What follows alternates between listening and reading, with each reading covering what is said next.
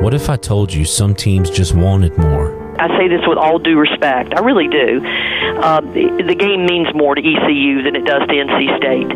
What if I told you games could be won off the field, not with touchdowns or field goals, but with mind control? We're always going to be at a disadvantage when we play the game, but just psychologically. What if I told you to set your goals, dreams, and aspirations high, even if there's no way in hell they'll ever come to fruition? We're focused on the Atlantic Coast Conference championship race, not on whether or not we're going to beat East Carolina.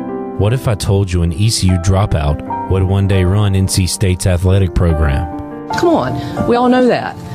Okay, so whatever. ESPN 30 for 30 presents Big Deb, the one woman wolf pack.